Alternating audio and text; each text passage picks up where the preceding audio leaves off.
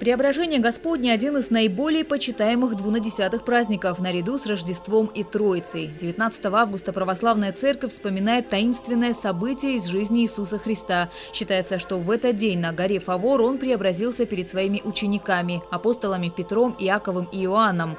В Евангелии говорится, что одежды его сделались белыми, как свет. Празднованием преображения Господня церковь исповедует соединение божества и человечества. Сойдя же с горы, Господь сотворил чудо исцеления отрока, которого не могли исцелить ученику, и дал заповедь о том, что род сей, род бесовский имеется в виду демонический, изгоняется только молитвой и постом.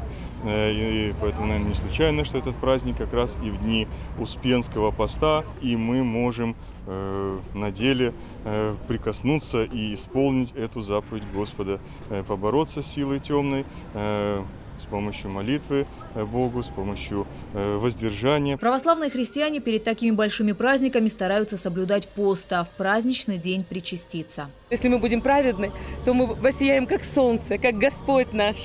Это самый светлый праздник для нас. Вот Пасха и Спас. Господь говорит, надо иметь веру Петра, терпение Якова и любовь Иоанна, чтобы видеть преображение Господне. А мы все, конечно, желаем, чтобы наши души преобразились, чтобы свет благодати Божий, свет радости, любви, терпения, неосуждения, смирения посиял в них хотя бы на малую толику. Есть у этого праздника и несколько народных названий. Спас на горе, Средний Спас, самое распространенное – Спас Яблочный. Раньше праздник Преображения считался праздником урожая.